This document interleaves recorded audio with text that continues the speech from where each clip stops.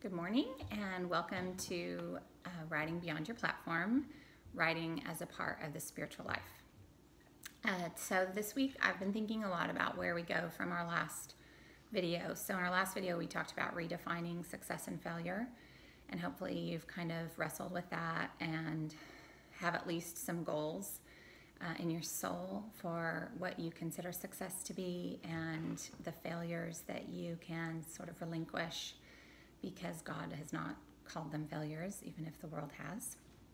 And so, as we sort of move on from there, I feel like we're really in a season of preparation and seasons of preparation as we journey through them uh, always remind me of Jesus in the wilderness because we see uh, Jesus when he enters the wilderness before his ministry life really begins. Um, we see him get tempted, and he's tempted to achieve the kind of success, the kind of greatness that is actually his destiny. And the devil offers him these chances to rule and reign as he someday would once he um, was raised from the dead. But he's offered these in a premature manner and tempted to actually take them in his hand and make them happen by his own will instead of obeying and following the Father the way that the Father was leading him. And so, as we look at success, our redefinition of success, it's incredibly important that we realize that the world will offer us ways, and our own will and our own drive and the messages of our culture can cause us to feel like ah, if we could only if we only did this if we only stepped out in that way if we only leapt from this mountain then we, you know, God would catch us and we would achieve what, what we really, really, really want to achieve. But the way of Jesus is always about deeper and lower before higher and greater. And so um, I've been thinking about this teaching of Henri Nouwen. He wrote about silence in one of his books, and The Way of the Heart is the book and he called it the portable cell.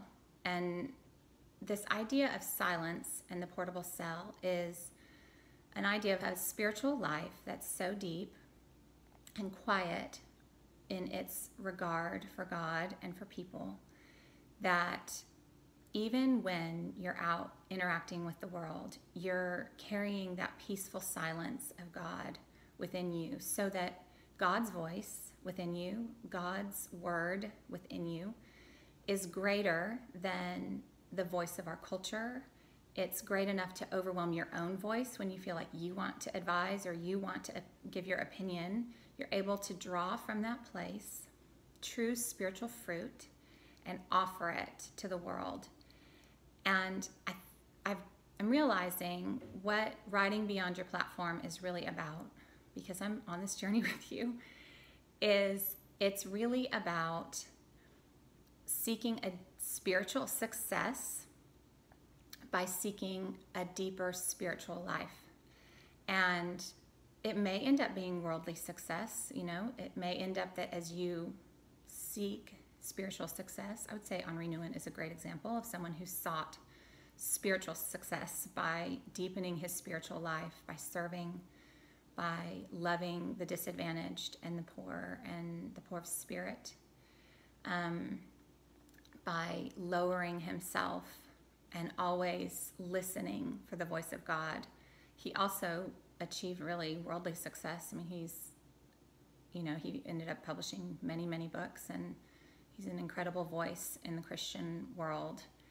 Um, was an incredible voice and still is, even after his death. So if we want a spiritual depth in our success, we have to have a spiritual depth in our life and in our soul.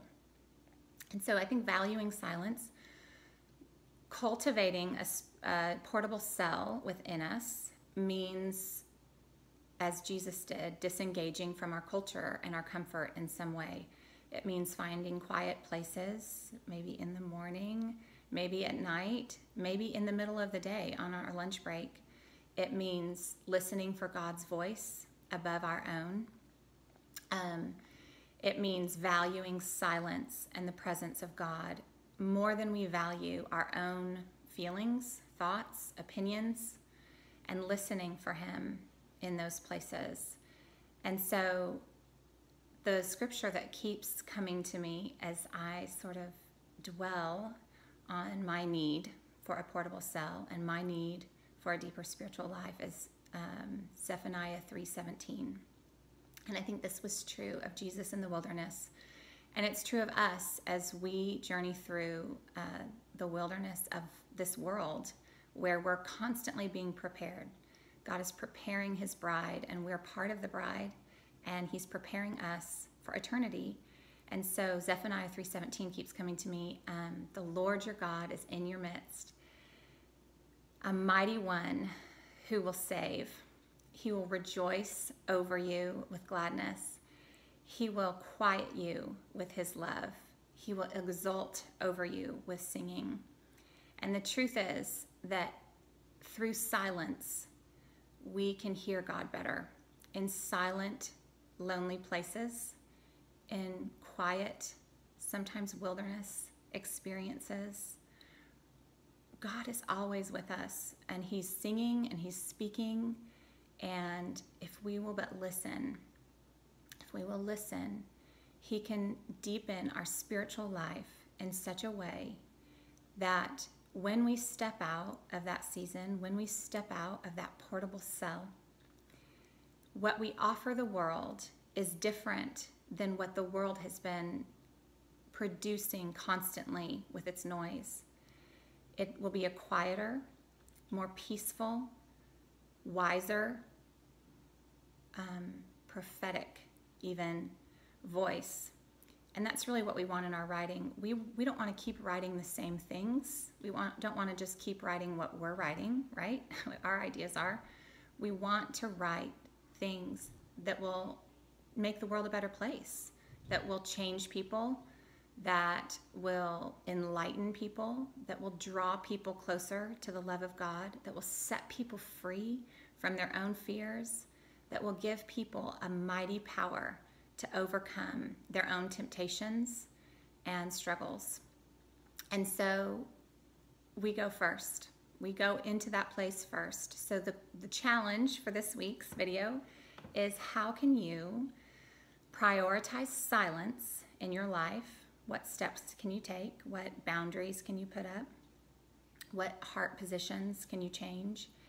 And thereby cultivate a portable cell in your daily life so that when you interact with people, you're not just speaking from your own mind and your own thoughts and your own worries and your own drive and your own will, but you're speaking from a place of rest in God, silence in His presence, and deep, deep communion with Him.